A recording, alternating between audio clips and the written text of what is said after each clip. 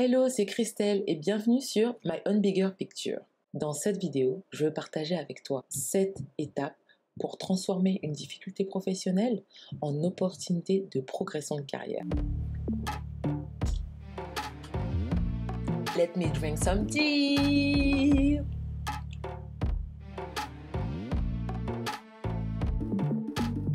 Si tu as marre de ton poste actuel, ne te sens plus progresser et encore moins stimulé, et cela depuis un bon moment, cette vidéo est faite pour toi.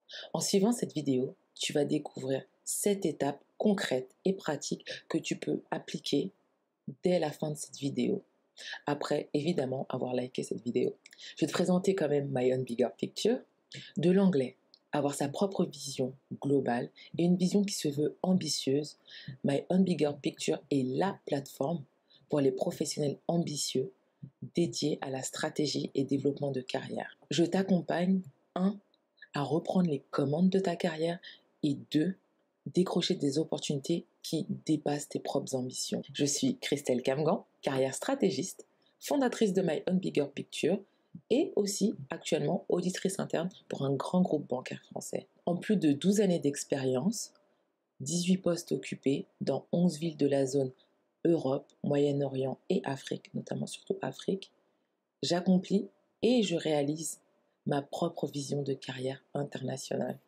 Partant du principe qu'une personne avertie en vaut deux, j'ai fondé My Own Bigger Picture avec pour mission de procurer des ressources et des conseils stratégiques de développement de carrière, appropriés aux réalités de transclasse et tout en prenant une approche intersectionnelle.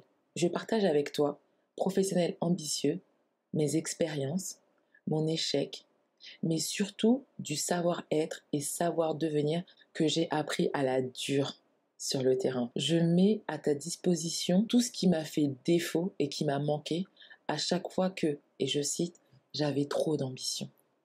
C'est le moment où tu likes la vidéo et que tu t'abonnes à la page pour être notifié de contenu qui t'aide à naviguer ta propre carrière et surtout en tes propres termes. Bon, maintenant on va rentrer dans le nerf de la vidéo. Je fais cette vidéo suite à mon post Day Motivation Monday, qui est de Pierre de Coubertin, et je cite Chaque nouvelle difficulté doit être l'occasion d'un nouveau progrès. Sur ce poste, je t'invitais à transférer toute l'énergie que tu dépenses à penser à l'impact de cette difficulté professionnelle sur ta vie en énergie pour prendre du recul et penser aux opportunités et options de progression qui s'offre à toi.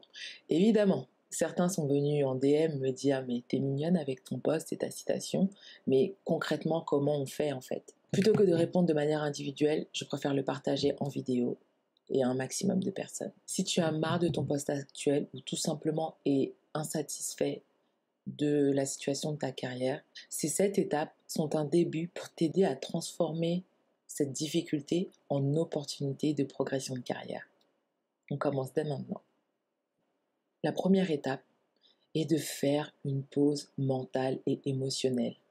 Ce n'est pas parce que tu y penses, ce n'est pas parce que tu en parles avec obsession de cette difficulté professionnelle que ça va disparaître, que ça va s'améliorer ou tout simplement que les choses vont changer. Avant même de rentrer dans le, dans le brut, plutôt que d'être obsédé par cette difficulté, mets ça de côté pour le moment. Concentre-toi plutôt concentre cette énergie sur des choses positives. Très certainement, tu prends des choses positives que tu as dans, ta vie, dans d'autres, dans d'autres domaines de ta vie pour acquises. Donc, essaye de penser plutôt à ces choses qui t'apportent du, du positif dans ta vie et témoigne de la gratitude, manifeste de la gratitude par rapport à ça. C'est très important. Parce que en faisant ça, justement, tu vas transformer toute cette énergie gaspiller en négatif à penser à, cette difficulté, à penser à cette difficulté en énergie positive justement. Et cette énergie positive que tu vas créer va être plus propice à trouver des solutions concrètes pour toi. Une fois que tu as pris le pas de ça, et je sais que c'est pas facile, hein, mais la deuxième étape, c'est vraiment de croire en toi. Crois en toi et rappelle-toi d'où tu viens. Rappelle-toi tout ce que tu as parcouru. Parfois, on est tellement obsédé par cette difficulté actuelle qu'on oublie tout le parcours qu'on a traversé. Tu as certaines personnes qui ont immigré d'un autre pays. Et c'est cette difficulté-là vraiment qui est plus difficile que déjà ce que tu as parcouru. Ou peut-être d'autres comme moi viennent de, quartiers ou d'environnements qui n'étaient pas déterminés à être là où, là où nous sommes actuellement.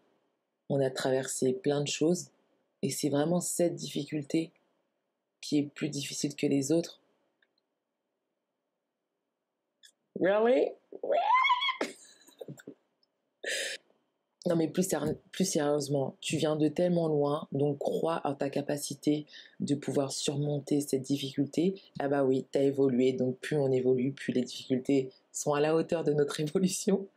Mais vraiment, mon point ici de dire que tu as déjà les ressources en toi, tu as déjà les capacités, tu as la capacité à travailler, tu as, les compétences dans ton domaine, mais aussi tu as la capacité à apprendre de nouvelles compétences, donc crois en toi et en ta capacité de trouver une solution. C'est très important d'être positif et d'être confiant par rapport à ça. La troisième étape, c'est de préparer ton mindset pour moi, c'est l'étape vraiment la plus importante. Il est important que tu saches et que tu détermines dès maintenant ce que tu es prêt à faire, les ressources que tu es prêt à investir pour justement dépasser et trouver des solutions à cette difficulté professionnelle que tu rencontres. Quand je dis ressources, hein, qu'on l'entende, c'est ton temps, ton énergie et aussi ton argent, bien évidemment.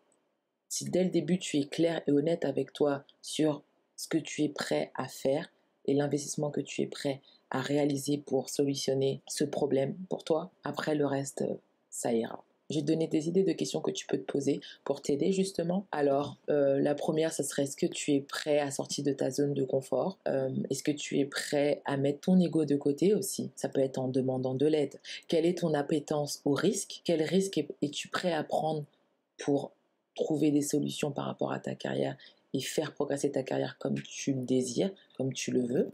Aussi, es-tu prêt à investir sur toi-même et dans ta carrière Ça peut être euh, en formation ou de l'accompagnement aussi pour pour t'aider à atteindre tes objectifs. À ce stade, vraiment, tu dois être clair et honnête avec toi sur ce que tu es prêt à faire pour solutionner tes propres problèmes. La quatrième étape, maintenant que tu sais et que tu es clair avec toi sur ce que tu es prêt à faire pour toi-même, cherche les conseils et l'orientation de personnes qui ont déjà vécu cette situation, notamment dans ton domaine, ou qui ont de l'expérience dans ce type de situation-là. And this is a huge one. Quand je parlais de mettre son ego de côté, n'hésite pas à solliciter de l'aide justement près de ces personnes. Pour toi, ça va être un gain de temps, mais précieux, un gain d'énergie, mais précieux, et potentiellement aussi un gain financier, car tu vas pouvoir bénéficier de leur expérience, de leur échec, et elles vont en même temps pouvoir t'orienter sur des options auxquelles tu n'avais pas pensé. La cinquième étape, et c'est celle que je préconisais, prends du recul sur la difficulté, ta situation de carrière, mais surtout sur ton profil en tant que professionnel. Reconcentre-toi sur toi-même car il est primordial que tu te connaisses en tant que professionnel. Si tu ne connais pas ta valeur sur le marché, comment veux-tu être en mesure de pouvoir te valoriser? Je vais te donner quelques pistes de questions qui peuvent t'aider justement à passer cette étape. La première question est de savoir quel professionnel es-tu? Quels sont tes atouts? Quelles sont tes faiblesses? Quelle est ta valeur ajoutée dans une équipe? Deuxième question, quelles sont les compétences que tu as à offrir aussi? Et la troisième, qui est la plus importante, au final, qu'est-ce que tu veux vraiment faire de ta carrière? Si tu as besoin d'aide pour répondre à ces questions-là ou naviguer cette étape-là, n'hésite pas à me contacter en commentaire, me poser des questions, j'y répondrai. Maintenant que tu as dressé ce portrait-là, tu peux passer à la sixième étape qui est d'explorer et lister les options qui s'offrent à toi pour ta progression de carrière. C'est à ce moment-là qu'on devient un peu plus techy et qu'on rentre plus dans, du, dans de la méthodologie. Notamment en cette période de corona, il est important de bien conduire cette étape. Pourquoi? Parce que c'est à ce moment-là que tu réalises une étude de marché, soit dans ton domaine ou un domaine de ton intérêt aussi, si tu as envie de te reconvertir. Le but de réaliser cette étude de marché est de pouvoir déceler des opportunités qui s'offrent à toi et auxquelles tu n'avais jamais pensé. C'est à ce moment-là que tu réalises une analyse d'écart entre tes propres compétences, ton propre profil professionnel et surtout ce que tu veux faire et, et ce qui est requis par le marché en fonction des opportunités que tu auras décelées. Ça va permettre de savoir comment tu peux booster ou faire évoluer ton, ton propre profil aussi. Quelques pistes que j'avais notées euh, dans le poste, c'est par exemple pour combler l'écart, tu auras besoin de te former, de réaliser une certification. Aussi, d'un point de vue plus euh, concret et technique, tu peux aussi faire du bénévolat ou du volontariat. Et si tu es déjà en poste, tu peux aussi te porter volontaire pour un projet qui est aligné avec ce que tu veux faire et le type de compétences que tu veux obtenir. On arrive à la septième étape et la dernière. Donc comme on a vu, en fonction des options que tu auras choisies, réalise un plan et stick to it. Engage-toi à réaliser ce plan d'action pour pouvoir te sortir de cette situation. Je peux te donner quelques exemples concrets pour lesquels tu peux commencer et ça peut être très simple. Hein. C'est pas, euh, par exemple, commence par mettre à jour et pimper ton CV avec toutes les nouvelles compétences et les capacités dont tu seras rendu compte à l'étape 5. Je parle de, de, ton CV, mais ça peut être aussi ton LinkedIn. Ces deux éléments-là vont te servir.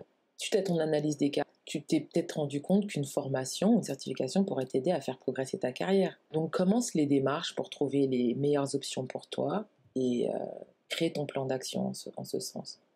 Autre cas aussi, tu t'es peut-être rendu compte que dans le domaine dans lequel tu es actuellement, en fait, ne te satisfait plus et que tu as envie d'autre chose. Tu peux aussi explorer la piste d'une reconversion professionnelle.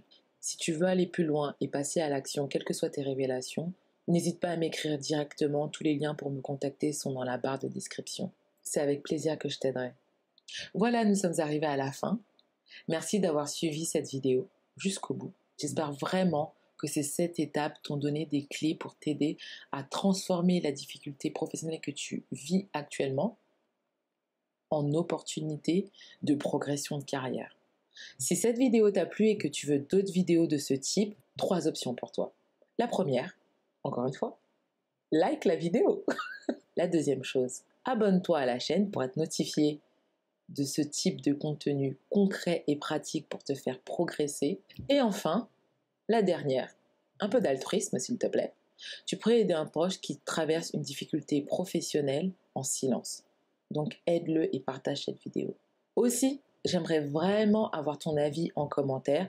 Qu'as-tu pensé de ces sept étapes? S'il y a d'autres choses que tu fais et que je n'ai pas mentionné, s'il te plaît, partage avec nous, on va tous en profiter. Merci d'avance. Et enfin, si tu as des questions, pose-les en commentaire, je serai ravie d'y répondre. Merci à toi d'avoir suivi cette première vidéo. D'ici la prochaine, prends soin de toi et des tiens. Tchuss